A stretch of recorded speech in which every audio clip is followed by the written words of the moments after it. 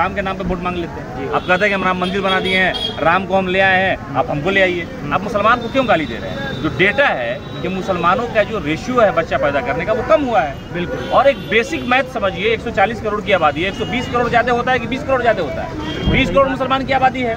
120 करोड़ हिंदुओं की आबादी बच्ची को क्या किससे खतरा है? यहाँ तो घर में मियाँ को बीवी बीवी को मियाँ से खतरा है। मुसलमान हिंदू को क्या खतरा हो जाएगा?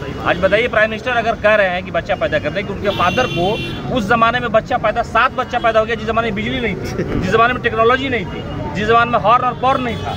लेकिन उसके बावजूद उनको शर्म नहीं आती है। बाबा साहब भीमराव अंबेडकर के चौदह बच्चे थे। ये अमित शाह सात भाई बहन है, मुख्यमंत्री नीतीश कुमार छह सात भाई बहन है। तो बच्चा पैदा करने का अधिकार आपको किसी ने थोड़ा दिया है?